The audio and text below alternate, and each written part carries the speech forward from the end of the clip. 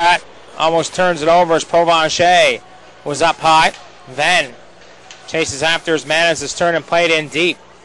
Oligny follows Graham and gives him a ride from behind. There's going to be a penalty coming as Oligny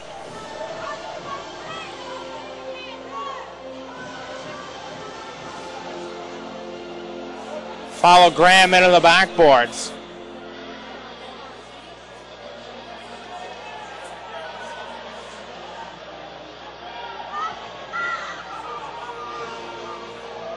Oligny looks like he's going to be tossed from the hockey game. Five minute major so. Zakharov had enough chances to try to score on the power play. Oligny runs his board player to the boards the last minute.